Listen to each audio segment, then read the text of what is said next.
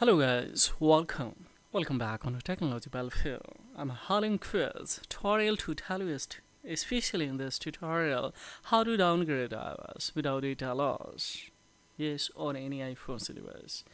Either you have the mistakenly updated latest beta version, now you'd like to switch or downgrade iOS.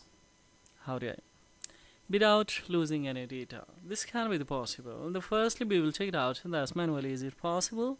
If it is possible then of course we will do it. Otherwise of course we have the clue that by execution of this clue we can easily downgrade iOS without losing data. So let's see. Firstly we will tap on the setting guide. In the setting especially uh, see tap on the setting setting to of course we will have to come the general general to of course we will have, will have to the click on it software update. Now here we have the two options. That is a beta beta that I have already off and uh, now iOS this 18.2 is syncs that it's up to date. So can I switch down or can I downgrade iOS 17 or iOS especially 18s so see there is no possible here so just we will go for another administration. That is one tool by free course 3u tool guys. By using this can be the possible. If you would like to downgrade iOS 17 this can be also possible. So just we will click after connections. We will click on the smart flash. We'll go for refresh option and here. We have options in that. See right now we are using uh, 18.2 iOS right now but of course we have option that is a 18.1 and uh, 18.1.1 versions.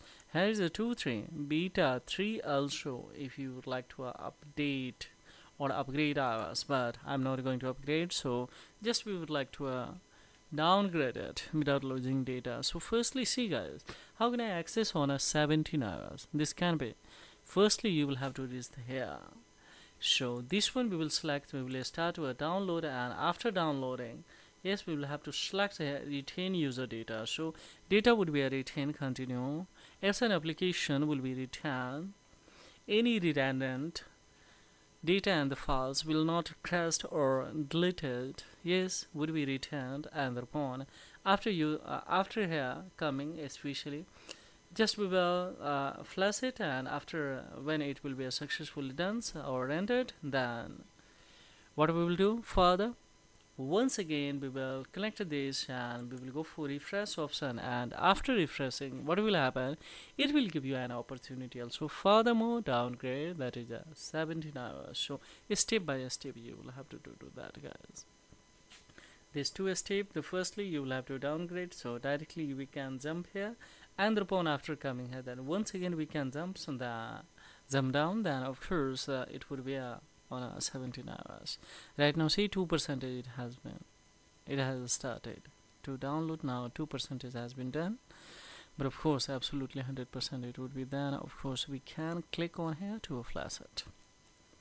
So data yes I, I, assure you you are not going to delete any data or you are not going to lose selection this feature don't select the fixed flash otherwise data would be deleted and thereupon of course quick flash mode there. Also anti-recovery this can also uh, this can be selected but it will take much more time guys.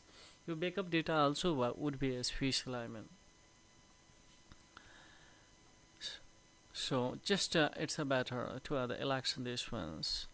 Right now see it's a total size of the IPSW of firmware uh, 8 GB so it will take time. Only when the 5% has the show. It will video will be lengthy guys. Uh, furthermore if you have any kind of the query or the questions then of course the line they have. Below the comment box and the pleasure would be mine to reply the query guys. So this is all about in this tutorials. Thank you. Thank you for visiting technology welfare. Have a great time. Bye bye